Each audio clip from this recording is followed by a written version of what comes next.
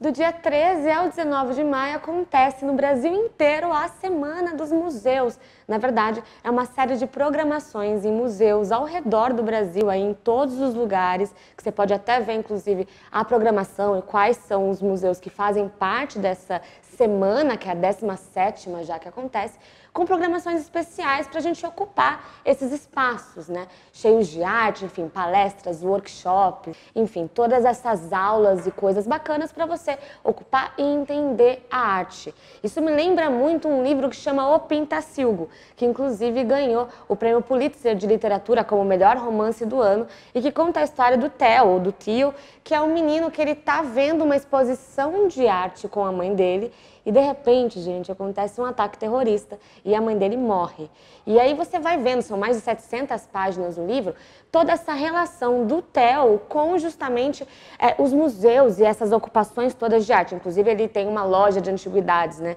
Que ele vai crescendo, porque ele foi abandonado pelo pai também, ele acaba sendo adotado e vai crescendo nesse ambiente. Aliás, a obra que ele está vendo no museu é uma obra que existiu de verdade, que chama Pentacilgo, uma obra do século XVII, de um artista que é super raro, é super difícil encontrar as obras dele, e lembra muito também outras obras artísticas que a gente pode ver nesses museus e que a gente pode ocupar aí nessa semana que está em todo Brasil e você pode ver como que a arte faz parte da nossa vida e que a gente tem que saber cada vez mais sobre ela, sendo no Pentacilgo, no livro ou nos museus aí ao redor do Brasil.